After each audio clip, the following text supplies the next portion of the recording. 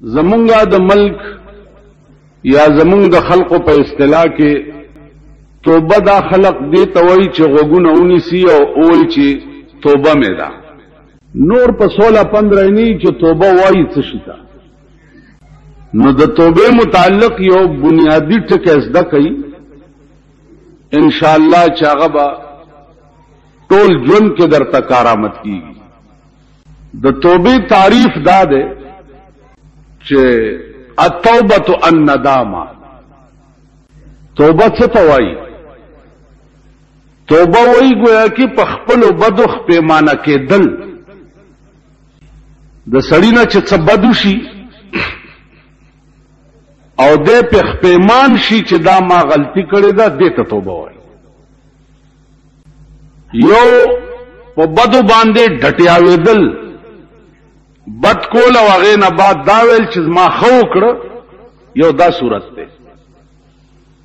یو دا صورت ته چې توبه دې وکړه ګناه دې وکړه او تخپېمان شو یو دا صورت جناب رسول الله صلی الله علیه وسلم فرمایي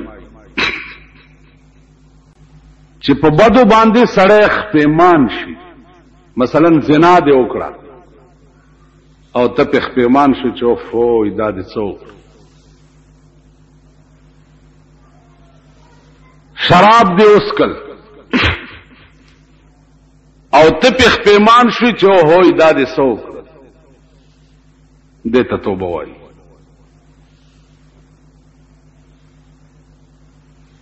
یو دا چې شراب دې وسکل او ته چې یاره ما خو وکړه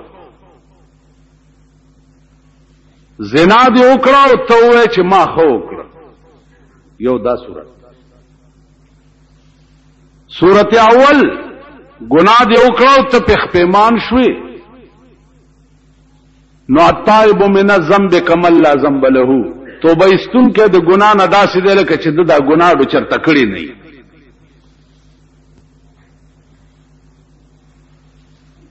اوس ګنا دی وکړه او ته په باندې گویا کې غاویر شو چې دا ما ډیر خو نو داغه متعلق مسله دا ده چې ګنا ته خویل الګا دا شراب دی ولې وسکل او ته چې ما خو وکړه نو پټکی کافر شوی یا گویا کې زنا دی وکړه او چا درته ویلې چې الکه دا زنا دی وکړه ظالمه دا ولې او ته چې ما خو وکړه نو پټکی کافر شوی تاسو خیال راغی او یو دا چې ګناه دی وکړو بیا په خپېمانه شو چې دا ما بد وکړ نو د دې حدیث لاندې برازي چې طائب من الذنب کما لا ذنب له توبه استون کې د ګنا نه داسې دی لکه چې دا ګناډو چری کړی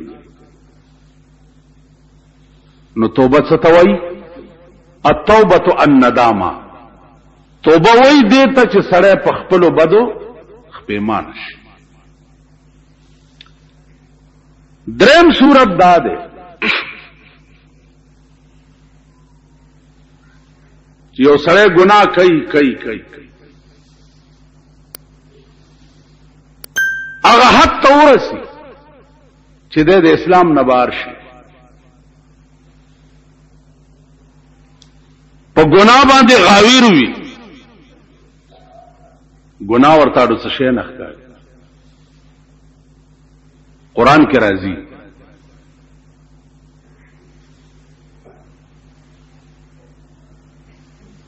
الله فرمایي چې اے پیغمبر دې قوم ته وایا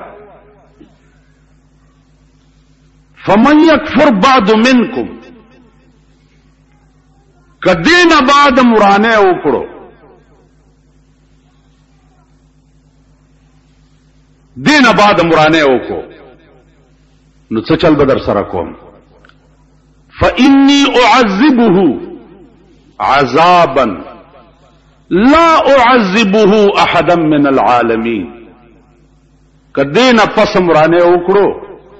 نو داسې عذاب به درکم چې په خپل خدای کې به مې داسې عذاب بل چاله نه ورکړي الله دې امان راکړي فمن یکفر بعد منکم دین بعدم کورانه وکړو نو فإن عزیزانو په ټول قران کې چې تاسو وګورئ د دینه خطرناک آیات بل نشته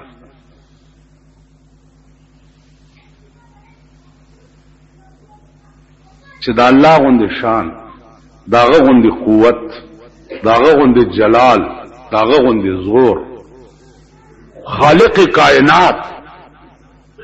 ادر ته وایي چې سم شه او کنه سمېږي نو داسې عذاب بدر کم چې په خپل خدای کې مې داسې عذاب چالنی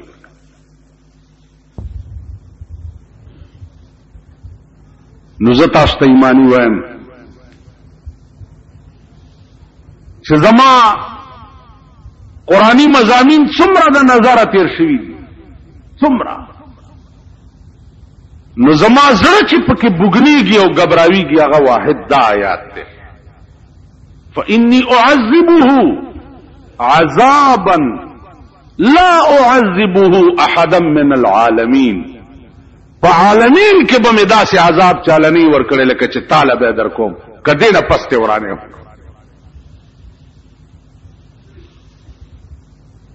عزیزانن مونږه غرور کیو تکبر کیو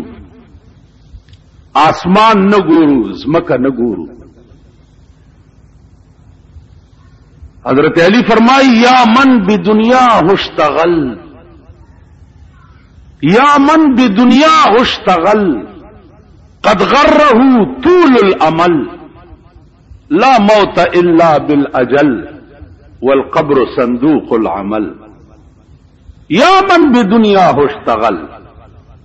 اے هغه څوک چې ته په دنیا باندې غاوره اے په دنیا باندې دومره غاوره او سترګې در باندې پټې دي چې الله نم بے نیاز شوي رسول نم بے نیاز شوي کائنات نم بے نیاز شوي د خدای د پکړ او د گرفت نم بے نیاز شو یا من بی دنیا هشتغل په دنیا کې دومره ورننوته او غرقې چار څه در نیر شو نو قد غره طول الامل دا من چې ده دا غاور کړه دی او غدوالی د عمر د دا, دا خیال دی چې تب ټول عمر ژوند دی او په دغه مزو باندې سری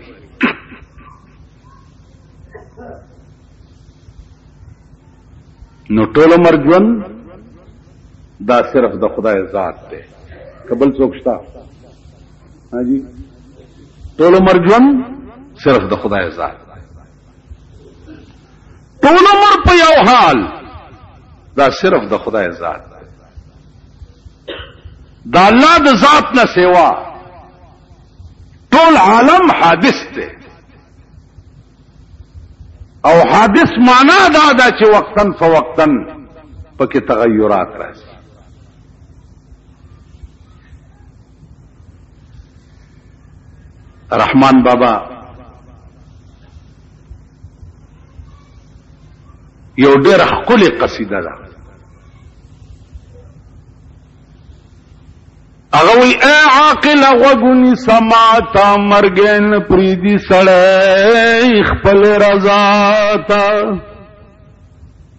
مرګ راشي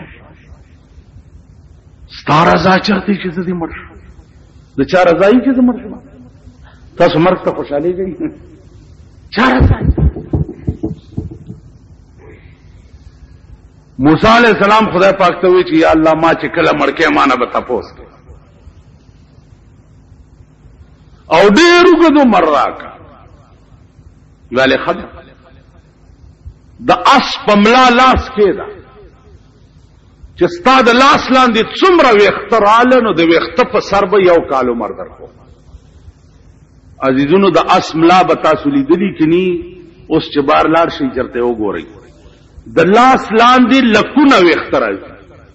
لکونه ویښته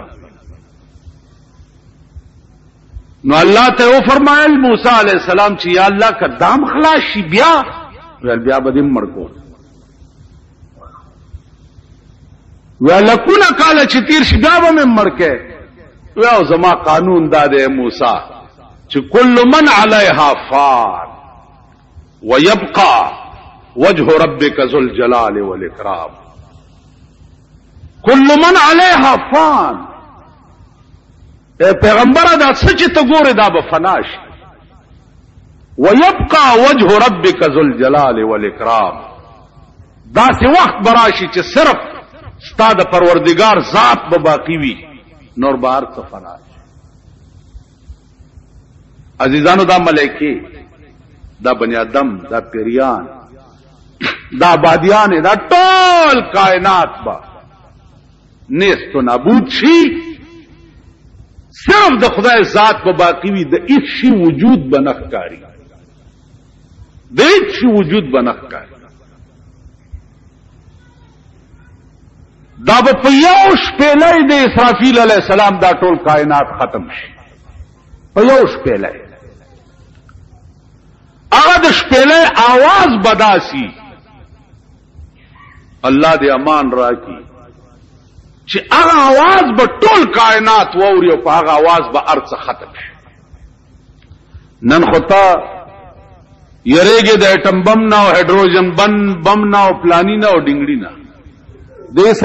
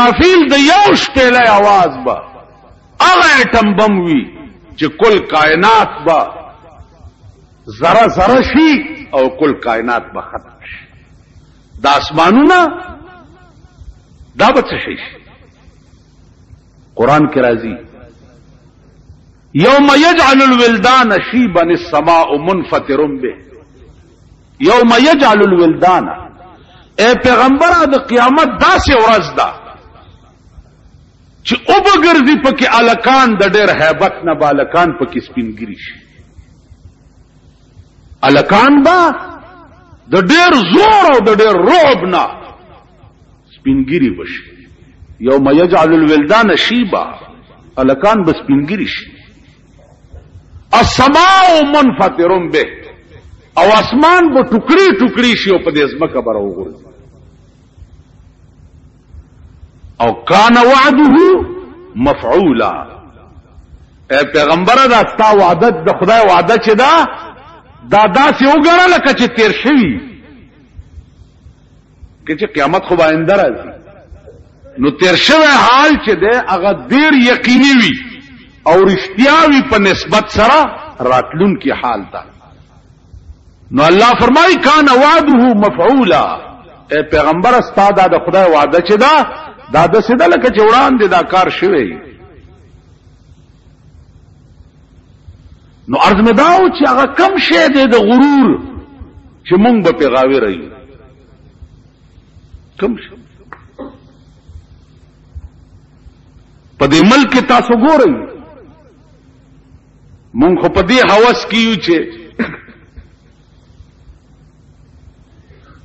د چا منبر وګورو چې وای چې زم منبر وای چا د آشنا ټوټه په موټر وګورو چې وای زم وزیر وای کنه جی مونږ په دې حوس کې نو ته په دې حوس کې او مرګ په دې حوس کې دی چې تا پسې ګرځي پته نه لګي چې کم ځای باندې د مړای نیسی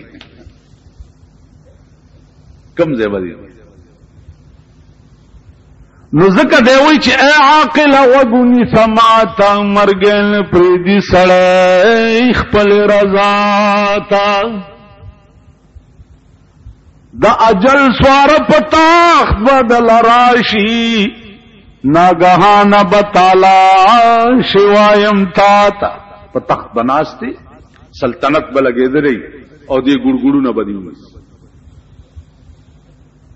ناګهانه به در باندې هاي هوی جوړ شي د اجل سوار په تخت بدل راشي ناګهانه به تعالی شوایم تا ته ډېرې ماتې کړې مړۍ د کبرجنو ډېرې ماتې کړې مرۍ د کبرجنو چې د کبرا بین لیدل هچاتا اوفو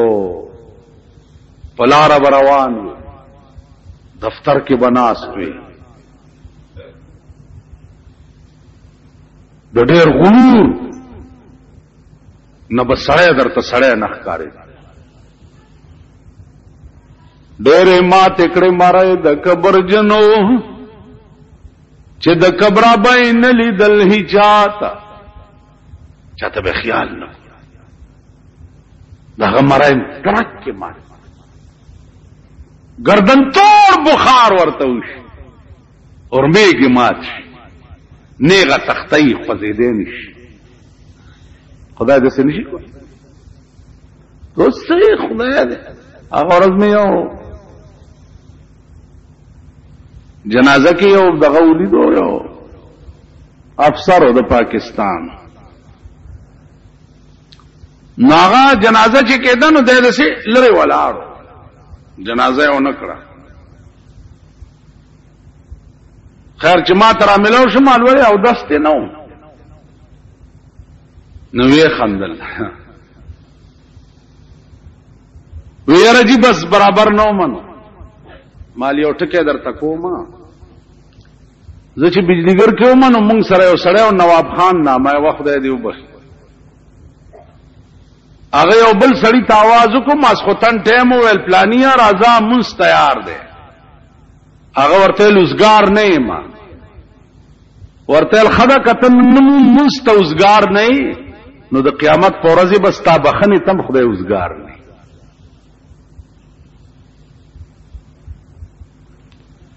نو مال کتنن د دې او مسلمان جنازه ته برابر نه وي نو قیامت کې بس تا بخنه تم خدای برابر نه څنګه چا سره وکړه سی بدر سره کې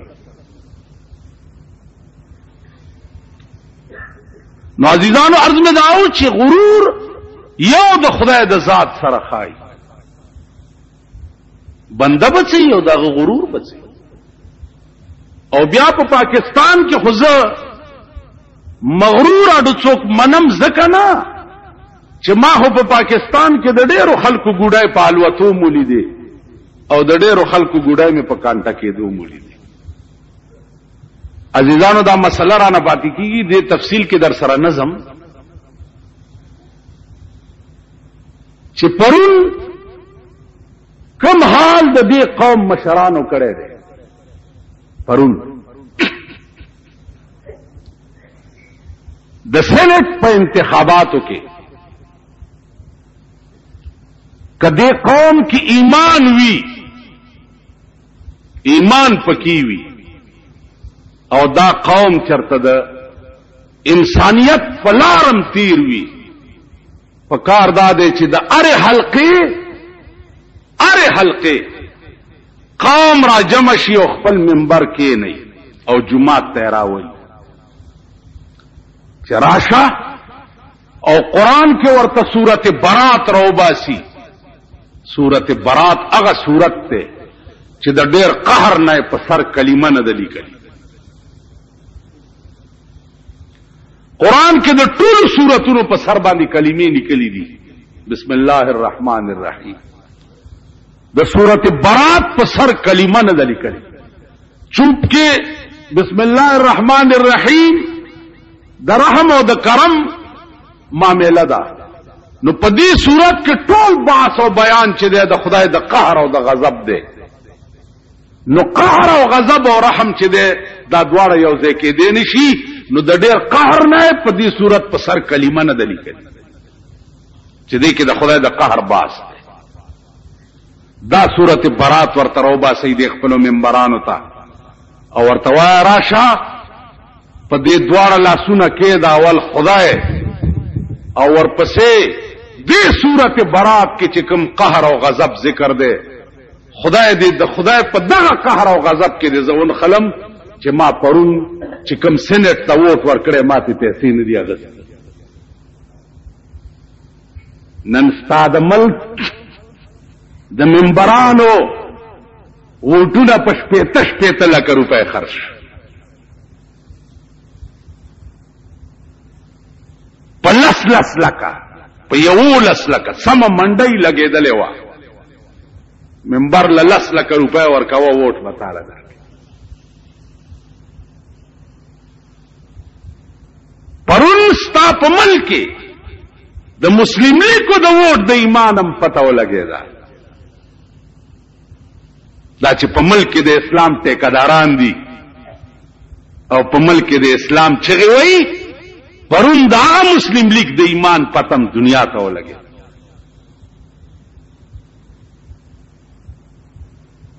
ودی کی دا قوم داسې که ایمان پکې وی کنه دا قوم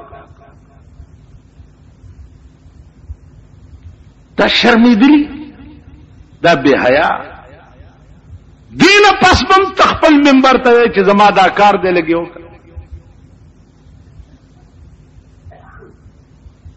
چا چې پرون ستا غوخي خرڅ کړی پرون ستا خزه ولا ووټ ور کړی دی او د ممبر شوی دی نو دا د د دا ووټ خرصول داسې دی لکه چې ستا خزه خرڅ کړي داسې ده کنه ده پرون منډي لګېدلې و زما عزیزانو عرض می داو چې نن تغاوی راي په دې چې زه ممبر يم یا زه وزیر يم یا زما حکومت او اقتدار په لاس کې دی اقتدار به دې په لاس کې وي او داسې غشه به دې په سینې نه نوځي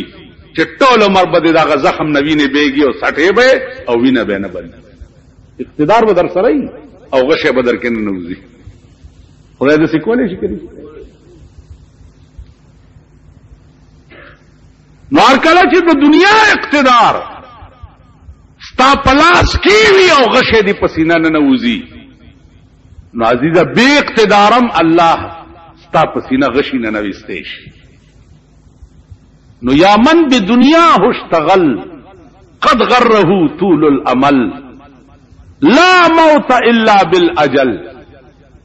حضرت علی فرمایي مرګ نه راځي سړی ته مګر په اجل او په نیټه راځي والقبر صندوق العمل او قبر چې ده دا بکس د عمل ده چې سدي کړی وي دنیا کې اب محفوظ تا د پاره پراتی اب محفوظ پراتی د دې وجنه خیال وکړي فکر وکړئ لنډ غوندې وخت دی ډېر لنډ وخت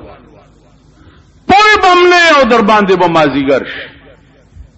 پوه به حدیث کې راځي چې سړی خښ شي په قبر کې که نیمه شپه خښ کیم په هغه باندې په قبر کې زیړی مازیګري نو منټ کې به در باندې مازیګر شي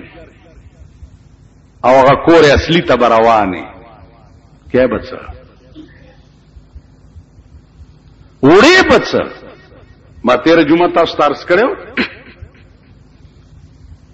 یو نوابو هغه نه لس درجه رب ازمکه وا یو خوار غریب نه تپوس وکړ ورته لکه ستا څومره ځمکه ده ویل نواب صاحب چې څومره ستا ده چې څومره زما ده ویل او چې څومره زما ستا ده دومره زما ده ول راویني سي زما عمر ځمکه ستا کم ځای کې ده په دې علاقه کې خو د بل چا د ځمکه شته نه نو ستا کم ځای نه پکې راځي لاس نه نوابونی و دیره ته بوت وې نواب صاحب دې ځکه ستا څومره ځمکه ده ویلې دوه نیم غزه نو ویل اصلي ځمکه خدا ده ستا او زما خو چې دلته څومره ستا ده دمره زما هم ده دا د دنیا ځمکه خو د دنیا دی دنیا ته به پاتې کېږي اصلي ځمکه دې دا ده چې ټول عمر به چرته تېری که نه ویلې او ویل خو دلته زما هم دومره ده چې څومره ستا ده نو اصلي ځمکه ستا دوه نیم غزه ده نور ځمکې د چا دي جایګیرونه د چا دي جایدادونه د چا دي دا هر څه د خدای مال دی او خدای ته به پاتې کیږي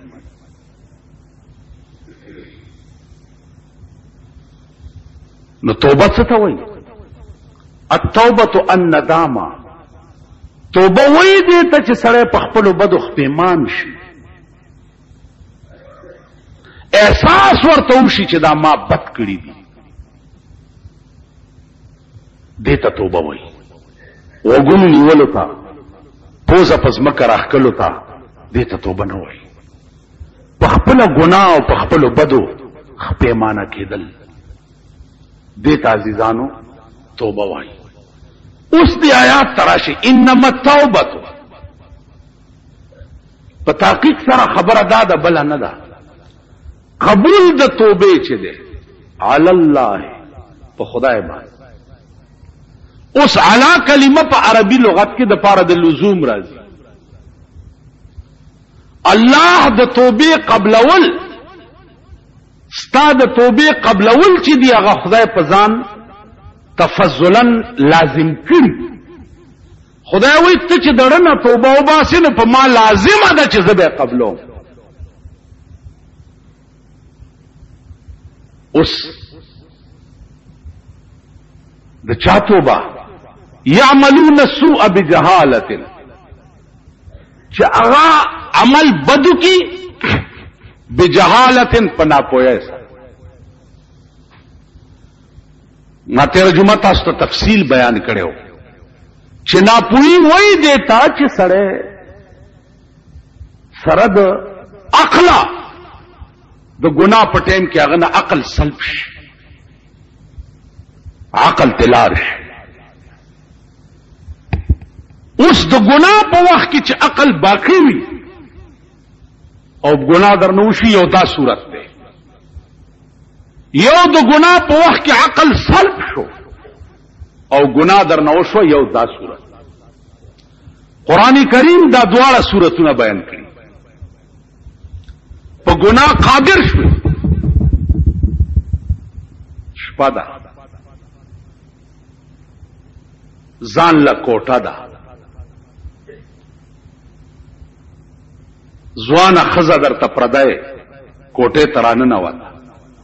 اې څوک نشته دروازې ټوله بند اې څوک نشته استاد د نفس او د خدای د یاره مقابله ده دی وخت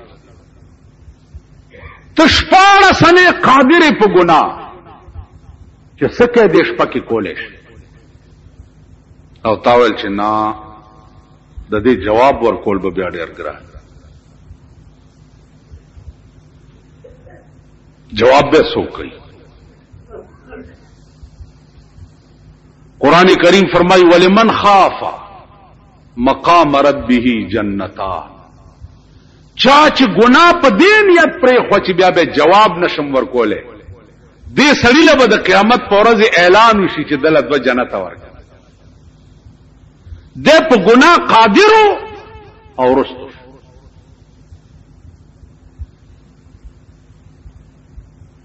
قران کریم فرمایي چې هم دا دوه جنت به که نور بمي الله فرمایي ومن دونهما جنتان د دې دوه نه سیوا نور بم ډیری او دا دوه به انعام وي د ته چې په ګناه قادر شوي او ګناه دې پرې دا ډېر ګران کار او زه جمعات کې ناست یم او صاحب سړی راغی او وی چې مولانا صاحب دا دوه لکه روپۍ دا جمعات ته تاسو دلته طالبان دی او کنه جی دا ډېر ګران کار دی هغه ته ټینګې ده سوا د خدای د فضل نه په بل شي باندې کې دا ډېر ګران کار دغه وخت کې نه په پتسپور اټینګيږي نه په مولاتوب راټینګيږي نه په پیرای راټینګيږي نه به په بزرګای راټینګي دوه لک روپۍ هغه نه اغستل مسلې له در تراوړي دا ډېر ګران کا څوک شته چې دا رد کړي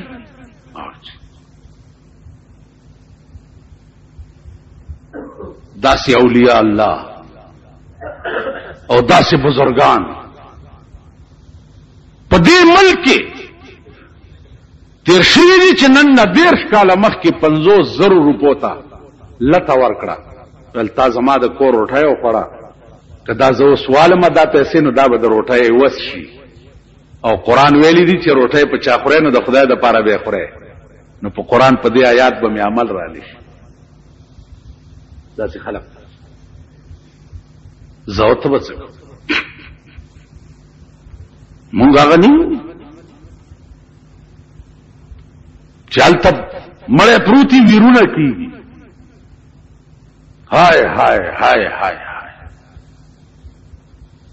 دا هغه مړی په کور کې مونږ روټۍ خورو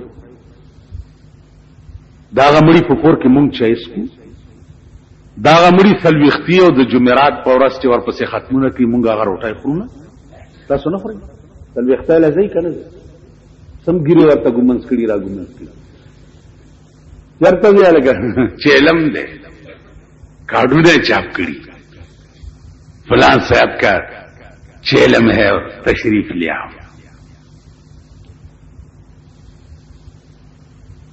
تاسو خیال هغه ځای کې ستا که وبم د دې ځای نه تېرې شوې نو کاکا ته انسان نه ځکه انسان څه ته وایي چې یو بل سره مانوس وي د یو بل علاج وي په یو بل قربان وي انسان دې ته وایي هلته به ستا اوبه څنګه تېرېږي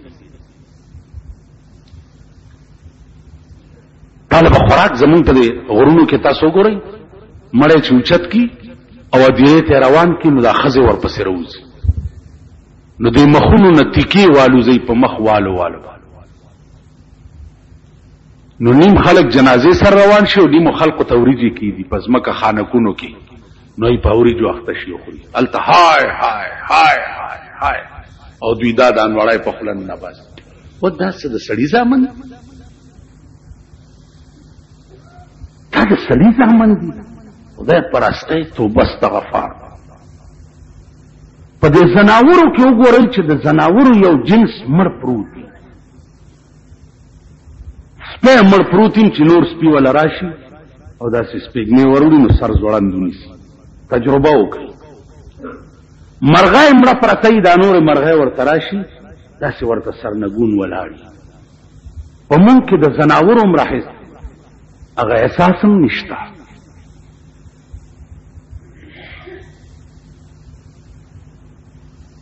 وختي ما نه چا تاسو کوی چې دا جنازې سره قران چوړي دا ښه کار دی که بد کار دی هغه لکه رواج دی اوس مفسد ته ویل تاسو نه مکوئ د ګریوان کې وګورئ خپل ضمیر سره محاسبه وکړئ قران زستا جنازه سره وړم په دې به ته خلک جنازه سره وړل خو پرېږده چې دا قران په دې سپېګمو کې درته کېدم په سپېګمو کې او خخ دې کوم زه درنه واپس شم او ملایکی درته راشي د قران خپل مقام دی او تا راکینی پیغمبر فرمایي په داسې شکل کې عملې کې ورته راشي چې دا ورته وګوري نو د دړه د خلې نه بوټوس او تپوس ته د من رب وکاو کی او دا ورته ها ها لا دري وي نړم بنه گزار د ملائکو چې کمی هغه دمر تیز وی چې د مړي وای چغه په دې ټول کائنات کې داسې شی پاتې نشي چې د د وای چغه وانه وي که خیال وکړي چې څومره گزار تیزي عمره چغه تیزي چې دا بل څنګه گزاري خدای دې امان راي د دې زر قران روان کړي دې صاحب چلې بیا دې زیاتی ته وګوره چې قران نمون د زیارت د منجورانو تعویز جوړ کړي دي قران غرض خدا نه قران هو قانون دی د ملک قانون دی د دې مسلمان قوم چې ستا د ټول ژوند فیصله به په دې قانون کیږي قران خو دې لنه دی چې په دې قانون به ته د ژوندۍ فیصله کې او کله ژوند فیصله دې په دې قانون نه کړې نو د مرګ نه رستوبه دا قانون تا نشي خلاصوله خبره خلاصه نو عزیزانو عرض مې داو چې کوشش دا کوي چې خدای توفیق راکړي یو باس دا دی چې توبه تر کم وخت پورې قبليږي دویم باس دا دی چې توبه د مسلمان او د کافر کې څه فرق دی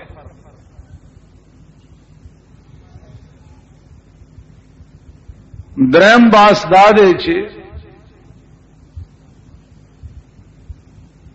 د مسلمان د پاره توبه کم وخت کې وستل پکار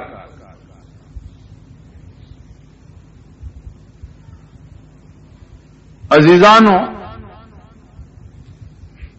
د قران کریم نه دا معلومیږي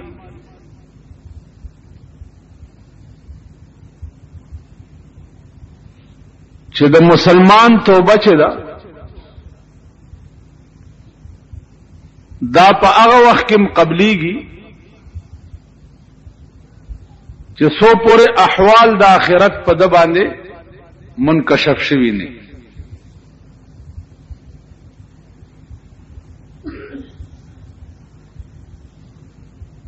بعض علما وایي چې د مسلمان سره خصوصی مراعات تی د پروردگار عالم چې په وخت د انکشاف کې هم الله باس د توبه چې ده هغه د مسلمان قبلې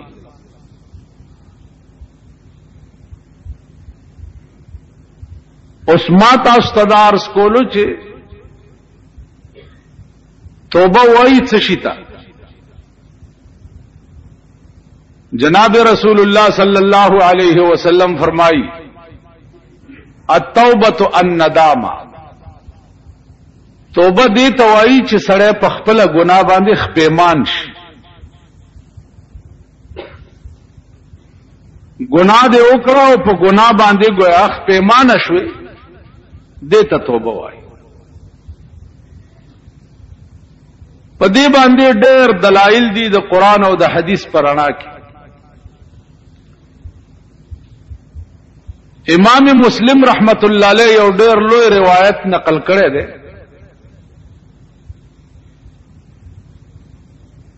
چې یو سړی او هغه یو کم سل قتل کړي او یو کم سل قتل پس دتا سوچ ورغه چې او ظالما دا به تر کومه پورې ته دا ظلم کوي اراده وکړه چې توبه وباسه او چرته خلق پکار دی چې داغي پلاس باندې زه د خپل ګناه اعتراف وکم او توبه وباس پلار روان دی اوس یو شیخ پلار مخ ته ورغلې دی ورته حضرت زخو یو کم سل قتل میکړی دی او اوس توبه وباس ا شیخ ته منډه کړی دا ورته ظالم ستا توبه کم ځای کې قبلي ورکشه مخې نه مې پناه شه دې سړي ورته ووي چې ښه ده نو دا یو پکې کم ولې دی بیا چې پوره څه لیکمه شیخ مې هم دا سټو والو مړې په لاره روان دی نو بیا اوس زړه کې وایي چې یا الله دا یو ظلم خو مې اوس بل هم ساحل الله ورته په مخ راغلي دي نیکان او بزرگان اغي ته اسلام علیک والیک کړه دی او دا خبره ورته کړی ده چې حضرت ما سل قتل کړي یو مې وسو او اوس مې دانیت ته چې زه توبه وباسم هغه ورته ویل چې د الله رحم او کرم چې دا غډیر وسی دي او ستا توبه به بالکل خدای قبول کړي اوس دې مقام باندې یو سوال دا واردېږي چې قتل چې دی دا حق العبد ده نو پردې حق چې ده هغه خو خدای نه معاف کوي چې تر سو پر هغه سړی ورته په خپل معافي نه کوي نو په توبه باندې وګویا قتل څنګه معاف شي علما لیکي چې دا بدارنګ معاف کیږي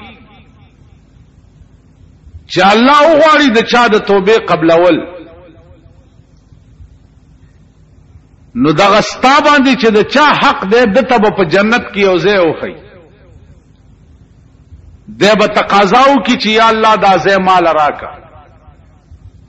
نو الله به ورته فرمایي چې دا ځای به الله درکم چې دې سړی ته معافي وکړي نو دی به وایي چې یا الله ما معاف کړی دی خو ما له دغه ځای راکړه الله به دا رنګ جوړ کړي سړي د پاره او دی به پې معاف کړي نو عرض داو چې انیکانو ورته ویلي چې د الله رحم چې دی هغه ډېر وسیع دی قرآن کې راځي قل یا عبادی الذین اسرفوا علی انفسهم اے پیغمبره د خپل بندگانو ته وایا چې تاسو په خپل ځان زیاتی کړی دي نو لا تقنتو من رحمت الله دا الله د رحمت نه منه امید کیږي هر څومره بد او زیاتی چې در نشوي دي نو د الله د رحمت نه منع امید کې لا تقنطوا من رحمت الله ان الله يغفر الذنوب جميعا انه هو الغفور الرحيم الله چې غواړي نو ټول ګناونه سړی ته معاف کی ځکه چې الله بخون کې او رحم کوي عزیزانو په قیامت کې به یو ځل دا بازار مو لګي چې په یو ادا باندې سړی ته معافي وشي نو الله به اعلان وکي چې دا سړی چې دا ما معاف کو اے ملائکو د ګناهونه ولټوي چې څومره ګناهونه کړی دی هغه ټول ورته په نیکه بدل کړي په دې مقام کې علما شارحین لګ متردد غوندې دي چې ګناه به په قیامت کې څنګه په نیکای بدلیږي ما په خبرو پوهیږئ ګناه به څنګه په نیکای بدلیږي عزیزانو ګناه به او په نیکای به بدل شي یو پروفیسور ما نه تپوسو کو تقریر کې ما چرته دا خبره به اورېدلې و چې ګناه به څنګه په نیکه بدلی نو ما ورته زب تا تا دنیا کې اوخه چې پلیت شیبه پاکی په تبديل د جنس سره پلیت شي چې وی هغه پاک شي ودا زما عقل کې ناراضي مال دومره خو به د عقل کې راضي چې غنم چې څو وخت کې وکړي نو اغه له سره ور کوي دا سره تاسو ګورئ دا تمام د بنی آدم غل دي وی کنه سره معنا ډیران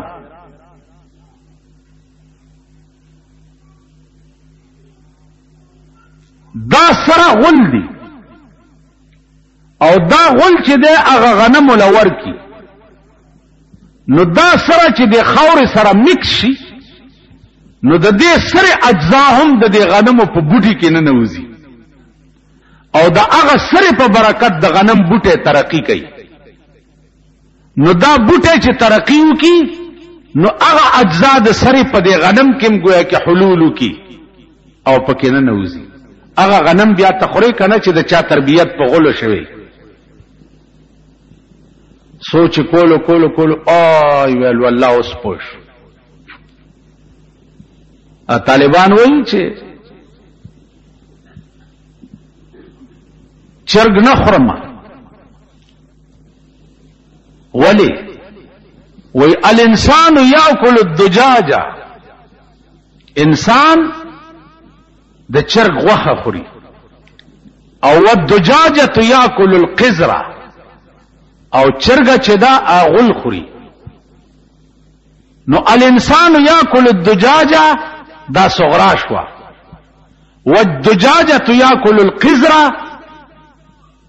دا کبرا شو نتیجه سره وته الانسان یاکل القذرا انسان غول خوري چرګا انسان چرګ خوري او چرګ غول خوري نو نتیجه دا راوته چې انسان غول خوري د دې چرګې زمونږ د دې بدن تربیه په خوراک کیږي کنه کیږي خبره کوي د دې بدن تربیه په څه کیږي په خوراک کې وګوره کم ماشوم لا چې خزه ته ورکی خزه دونی مکالو کې دننه دننه د دې خزه په تمامو زامنو دا جینه حرامه ده کنه او کدا لک وی د دې خزه ټولی لوري په دې حالت حرامي دي کنه دي ولی زکه چې د دې خزه د دې یو ساس کی پيونه د دې ماشوم بدن تربیت کو نو گویا د دې یو ساس کی پيو پایوس کې دا ماشوم د دې خزه د بدن جز شو دا داسې شو لکه د دې لور یا د دې زوی نو خپل لور او خپل زوی باندې خپل خور روانه ده دغه څه چې پای ولا ورکی اومم پر روانه ده ځکه چې په دې رضاعت سره داغه د بدن پرورش په دې اساس کې باندې وشو نو دا د دې خزې د بدن جزو ګرځېدو نو خپل د بدن اجزاو کې یو بل سره نکاح جایز نه ده نو لا محاله هغه ماشوم سره د خزې د لور یا د زوی نکاح جایز ده دا مې دې پورې درته وي چې د غنم تربیت په سره کیږي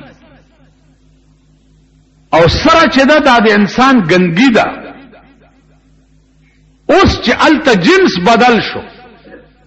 هغه سره بوټه شو او بوټه غنم شو نو غنم مال خوراک روا شو ځکه چې جنس بدل شو بل دا چې اکثر لره حکم د کل وی ته چې روان نیر کې متیاز یو کې اوس پکې متیاز یو کې هم د دغه ځای نه وبس کې نو سکل روا دي کنه دی روا خدای خبر کپې پوهېږي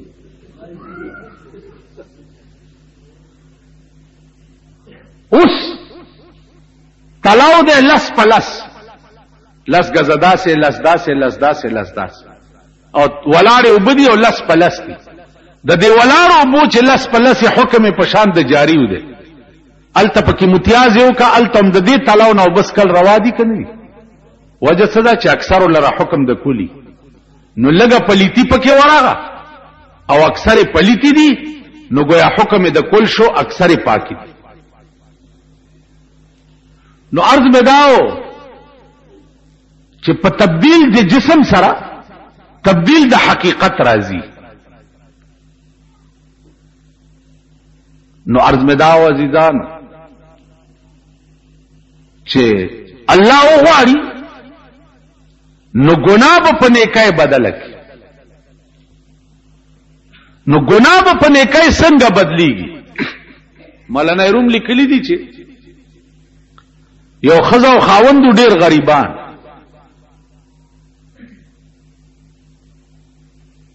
دا واورې د چې زمونږ د دې ملک بادشاہ له چې څوک تحفه او ډالۍ یو سی نو ا بادشاہ ول ډیر انعام ورکړي نو د خزه خاون ته وی چې سړی تم ستوفه د بادشاہ له یو سچ سه انعام درکې ډیر غریبان نو بادشاہ د خزه ورته چې دا وی نو میړه ورته وی چې خزه زه خو د خدای سپیره ما نو ما سره څه توفه ده چې بادشاہ له یو سه ویل سړی نور څه خو نشته خدا باران شوه دی او دا ډنډې دي ډېرې ښایسته اوبه دي پکې د پشکال دا به درته منګي کې واچوم او بادشاه له یوس ا د پشکال د اوبو د ډنډو نه منګیا ولا ډکو خله ولا وتړلا او بادشاه د یو میاشت په مزل باندې لریو خزه ور سره وته او میړلې منګیا ور په سر کو او د خدای په امان ورته وې رسخت کو داتې واپس کور تراله چې واپس کور تراله نو او د سې وکړو مصلی واچولو په دوه رکعاتو نفل نیت یې وتړل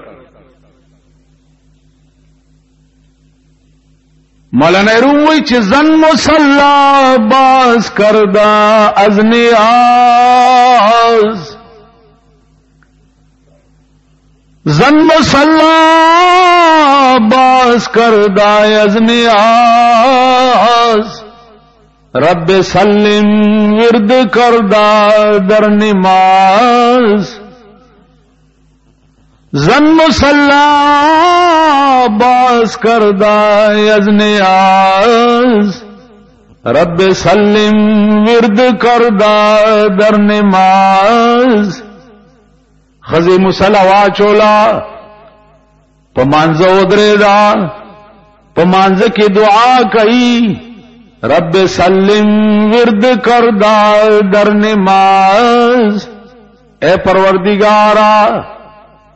خاون می د یو میاشت په مزل باندې بادشاہ لا تو فروان کړه خدای صحیح سالم اورا سے او په ډکه منګول راولا خزه دعا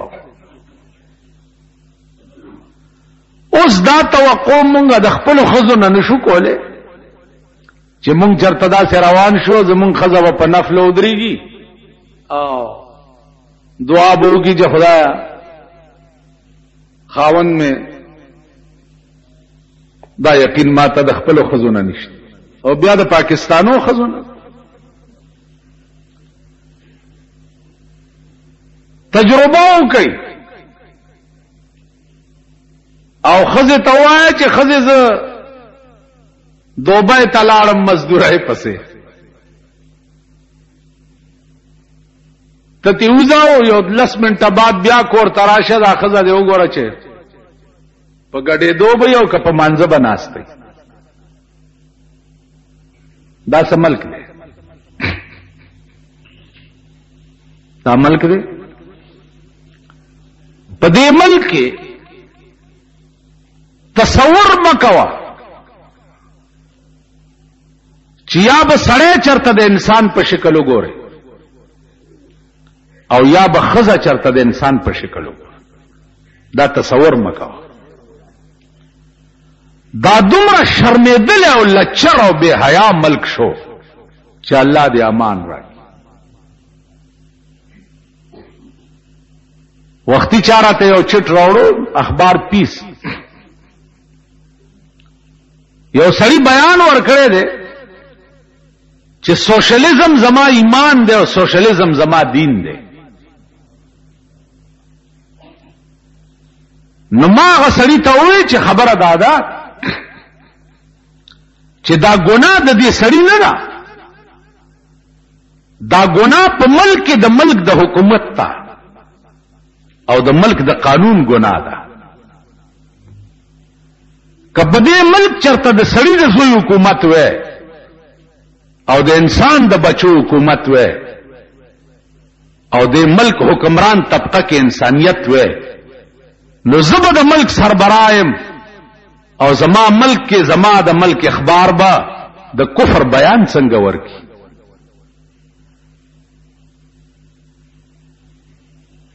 سوشلیزم کې ایمان شته نه نو سوشلیزم ستا ایمان څنګه دی ایمان خو اول دې خره نه خله پرتګې نه باری ته وګوره چې ته خو اول د ایمان تعریف وګوره چې ایمان وای څه شي تا ایمان په عربي کې تصدیق ما جاء به النبي ته وایي پیغمبر چې کوم قانون د خدای نه راوړی دی په هغې یقین کول دې ته ایمان وایي نو ته چې سوشلیزم ته ایمان وای بې ایمانۍ ته ایمان ویل دا څه عقل اوس دا سړی چې راونیسې سرلاندې او خپې پاسې ځوړن کې او ورته وایي چې اوس ته څه ایمان دی لکه تماشه د ځان وکړه ته وګوره چې د ایمان اوس څه کی د ده دا ټیزونه بیا وګوره خو ملک بے حیا او دوس ملک دی او سوخت مزدست صرافان جوهر ناشناس قیمت خرمهر را بادر برابر می کند وروس وزولم لاسونو د جوهریانو چې د جوهری په دکان ناشته او نظر نشته روم دی نو د کنج کې قدر د لالو گوهر سره برابر رحمان بابا وی چې په بازار د نابینا او جوهریانو خرمورا لال او ګوهر درې واړه یو دي په سبب د ظالمانو حاکمانو اور او ګور او پیښور درې واړه یو درې سو کالو په سبب د ظالمانو حاکمانو اور او ګور او پیښور درې واړه یو دا نن ستا په ملک کې سال دی تاسو ورشي د جمعې د ورځې د هر یو د اخبار د منځ وګورئ چاته چې دوی مخزین دی که څه بلا ورته وایي د ملک د خزو فوټوان پکې وګورئ تصویرونه پکې وګورئ هغه ګډېده او هغه ډانس پکې وګورئ دا اخبارونه مونږ کور ته یو څو زمونږ لونه او زمونږ ښځې دا بیا ګوري هغه ښځې هغه جامې هغه شان او شوکت ګوري او زمونږ ښځې چې مونږ ته وګوري او د ګیرو ته مو ګوري او د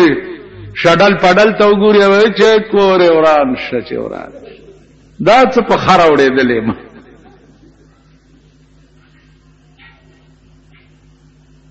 دا ستاسو ملک بیا دا ته خبر دا شرمی دلی د بے حیا بچی د هندستان نه یو اداکار را روان دی څه نام یې ها څنګه ما ده ها دلیب کومه وګوره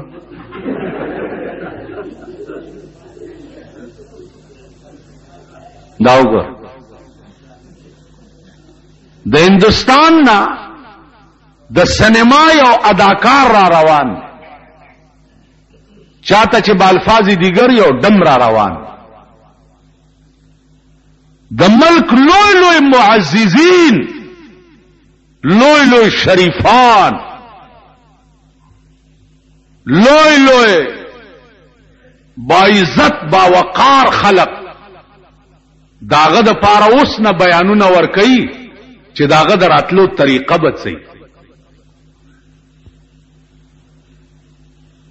دعوت ولا چا ور کړی چې راشه دا بم چرته په اخبار کې نه اوریدلی چې د کعبه امام ته د پاکستان حکومت دعوت ورکړی چې راشه لیدلی دی ای چې راضی په خپل راضی د هندستان یو اداکار ته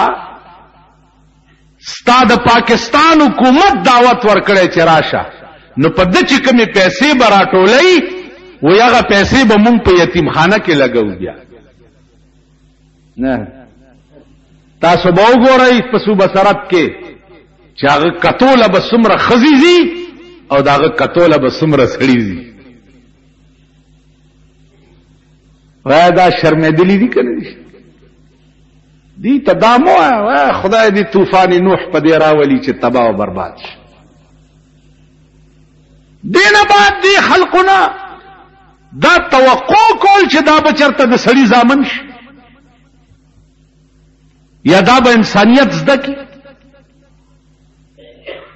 چې د کم قوم مزاج دای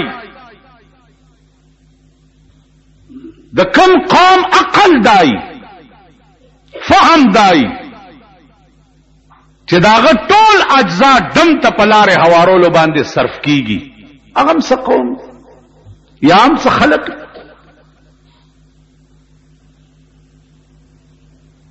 خدای چې سکه ډیر خک هغه چې سکه مون سره چې سکیږي ډیر خکی مون کې زیاده مونږ د دې اهلی که په بمونو الوزو کراکټ را باندې را غورځيږي که یو بل اولو سره په تاسو د بنی اسرائیل عذاب نه دی نازل فقتلوا انفسکم بنی اسرائیل ته به ویل شو چې توبه بم ال قبليږي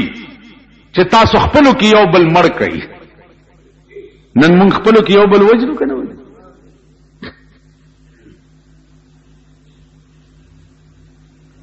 ستا توبه نه قبل په توبه ته پوهیږي نه نو چې د کم ملک د سی حکومت بیا هغه حکومت لا چې کم خلق کار کوي دا حکومت وزیرانو لا په اخبار کې وګورئ زرګونه خلق ناس دی او داغه درفشانی او تاسو وايي په ایمان په دې تمام پاکستان کې د یو وزیر تقریر د دې قابل دی چې څوک واوري د جنیجو تقریر د دې قابل دی چې تی واوري د ضیاولک تقریر د دې قابل دی چې تی واوري صحیح معنا مې معنا مې د دې قوم دا ملا لو چې ورس تیریږي وې زاغان کې ناست په سر د سر وې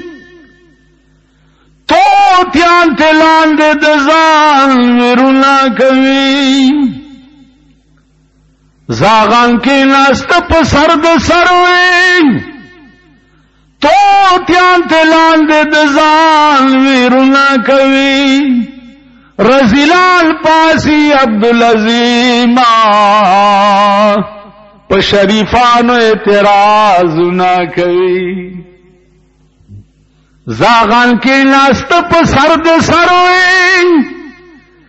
توتیان تلان د ځان ویرونه کوي رزلال پاسی عبدالعظیم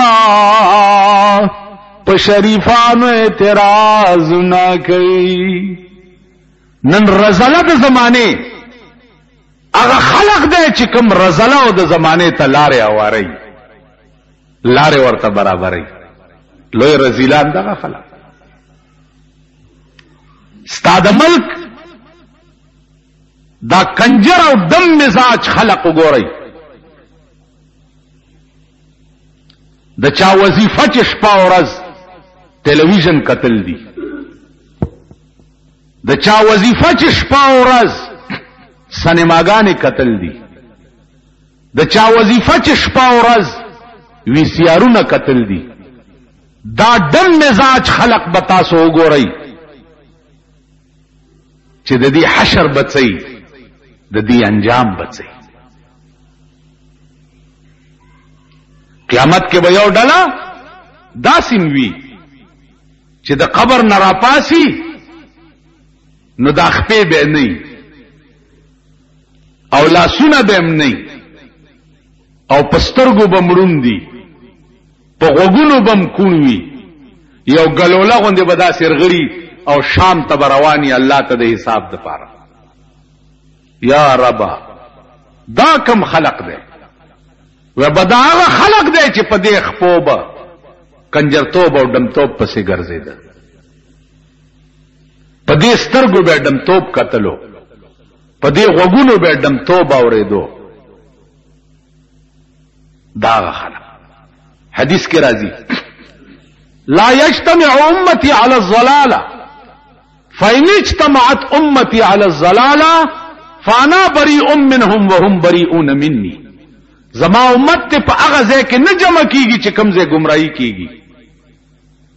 که زما امت را جمع شو په هغه ځای کې چې کوم ځای ګمراهي کیږي سردار کونین فرمایي زه د دوی نه بیزار یم او دوی زما نه بیزار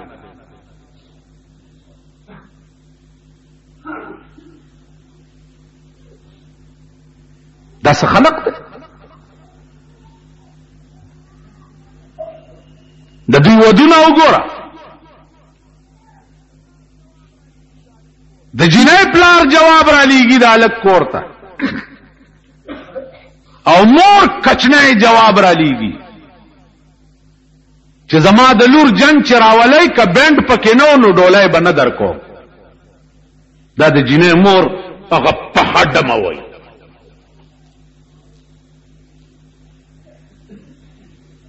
اندازه وکړه چې د جنې مور تقاضا کوي چې راځي په دم توپ برازي نو د الک مور خو غریبه ګرمه نه ده بیا بیا پکې دا د شاخه تاخه زامن چي دي دا تماچ کولای پیدا کړی او ټوپک او سکلاشن کوپو زمانہ ده په پردي واده کې هیڅ کور دی وران شچ وران دي تاسو خدای هلاک کا د سړی ته په ځای کې خو باندې ورنه کې د مور واده دي ده که د خور واده دي چې کلاشن کوپې دې پکې وچلولې نو دا خدای تبا کړی قوم دی ان شاء الله حشر به ګوره انجام به ګوره چې د دوی حشر بدای چې دی په قیامت کې د سپو په صف کې ولاړی د کنجرانو د ډمانو د رزیلانو په صف کې به ولاړی د دې خلقو انجام به ګوره تاسو ګورئ دوی ته مرګ الله د سړی توب نه نصیب کړي سړیتوب په ځای کې دوی نه مړ کی چې ګوري د سپي په شان مردار پروتي مرګ ورته الله د سپو نصیب کړي داغه وجه دا ده چې د دوی اراده او ټول عزایم چې دی هغه مفسد دي پلیت او مردار دي زما عزیزانو تمام کوه د دې خبره دا خمرګ او توفیق د توبه الله غا قوم ته نصیب کوي چې داغه اراده پاکي وي ارادي خي د چا ارادي پليتي او مرداري وي هغه ته خدای توفیق نه ورکړي هغه بزرګانو چې دې سړی ورته وی چې اوس مې اراده د توبه وکړه ولا هغه مخامخ د نیکانو کله دی دې تور شو پاک خلق پکې اوسېږي ولته توبه او باسي خدای به قبول چې دې روان شو لار کې ولا مرګ راغی او ساعت قبض شو سا چې ته وطن د دا سینه د هغه نیکانو د کلی طرف تکړه چې خدای ته په پوهې چې ما خو اراده د توبې کړې و اوس مخ کې ته پوهېږه او ستا کار دی چې سات یې وته د رحمت او د غضب ملایکی ولراله د غضب ملایکو وی چې روح وروسي جین تا سل قتل کړي د رحمت ملایکو وی د اراده د توبې کړې و مونږه روح علیین ته ورو د دواړه قسمه ملائکو په جګړه شو چې په جګړه شو الله ثالثي وکړه منس کې چې جګړه مکوي دا سره وګورئ چې د کم زین را روان دي ا د قتلونو زه ترغه زایم لار ناب کوي او چې کم زه تر روان دي تر دغه زایم لار ناب کوي که د نیکانو کلي ته نږدې وي نو د رحمت ملایکې دې یوسي او که د قتل ځای ته نږدې وي نو د غضب ملایکې دې یوسي ملایکو ناپ شروع کو او الله دغه نیکانو کله یو لیشت ورته را نږدې کړو ثابت کله را نږدې کړو چې رانږدې کړو نو د ده لاس چې د نیکانو کلی ته نږدې و نو د نیک رحمت ملایکو وګټله او د غضب ملایکو بیلله روح هغې واغستو علیین ته یو خالی په اراده د توبه به لیکن چې صداقت سره وي پرشتیا سره وي دا څنګه لکه قران ویلي دي چې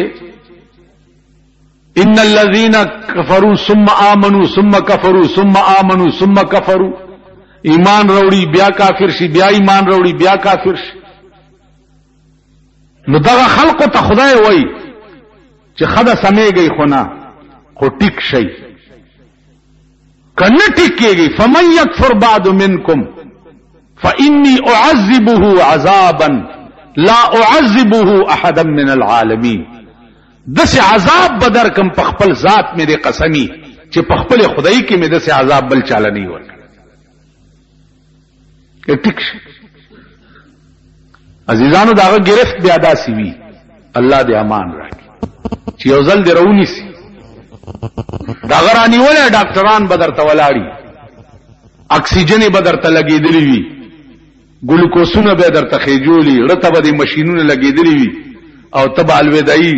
سلګی وهې ته به بل جان ته روانې او ډاکټران به دې دې خوا راکاږي امالانه روم وی چو قضا آیت طبیب بلا شود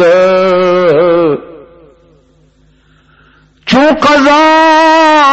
آیت طبیب ابله شود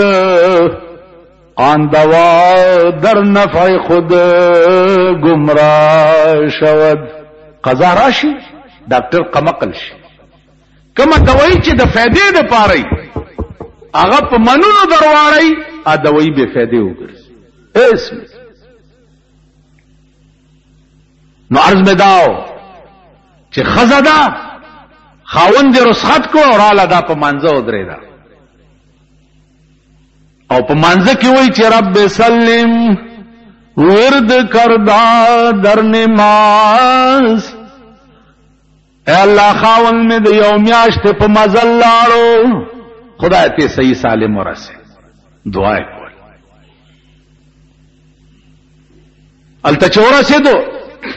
بادشاہ ته اطلاع وشو چې یو سړی د تحفه راوړی دا څه تحفه راوړی دا راي ولې چې باد منګه په سر د بادشاہ ته ورننه است بچیا څه راوړی دی جما الجنه د جنت وب مې راوړی بادشاہ ورته سبحان الله د جنت وب انا راوالی منګه تر واغستو یو میاش چې په منګي کې وب پرتی ته وای سمره ښه بوین به کړی ولاله ګلاس راوړی بادشاہ ورته د جنت وب دی بادشاہ ګلاس اوس کلو چې ویس کلو چې بادشاه اوس کلو نو اوس جنې جوړ ډله به څنګه نسکی اوس کوي صاحب ټول ټول اوس کلی کړي نه منلم ویس کړي بادشاه اوس وای دې سړی ته چې و سړیا په خدای قسم که مونږ سره خو ستا د دې اخلاص او د دې تحفې بدل شته چې د یو میاشتې په مزل تا اوبه راوړي د دې بدل خو په خدای قسم که مونږ سره شته خو ځئ بوی ځئ او دا منګی ورته د سرو زرو ډک کوي او ورې کوي خزانې ته ولېږلو او منګی ولا د سرو زرو ډک او داسې د دریای دجله په دې غاړه بوزي ورته دا وخی چې دلته دریابونه د اوبو بیږي خبره د اوبو نه وه خبره ستا د اخلاص وه علما لیکي چې د دنیا بادشاه چې وغواړي نسخه او به په سرو زرو بدلولی شي مالک حقیقي چې په قیامت کې وغواړي نو ګناه په نیکۍ نشي بدلولی دا څه خیال نه دا د هغه تردد جواب دی چې قیامت کې به ګناه څنګه په نیکۍ بدلی نو عزیزانو ګناه په نیکۍ بدلول خدای ته ګران کار نه دی نو الله چې په کومه ادا د چا ناراضي شي وای بالکر ګناونه ولټوي او ګناونه ورته په نیکۍ بدل کړي عزیزانو د یو یو یو جنازه دی چې د الله د پاره کړی یو جنازه د یو مسلمان نو د یو جنازي قیمت به په هغه ورځ د احد د غرم راولګي د یوې جنازې په عوض کې به ستا د نیکۍ په تله کې یو د احد غر کې ښودلی کي اوس د توبې توفیق ان شاء الله سباس به بیا شي واخر دعوانا